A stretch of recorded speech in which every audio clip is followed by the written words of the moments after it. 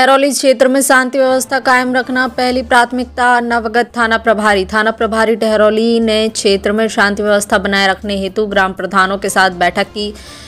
वहीं चौकीदारों के साथ बैठक कर आवश्यक निर्देश दिए।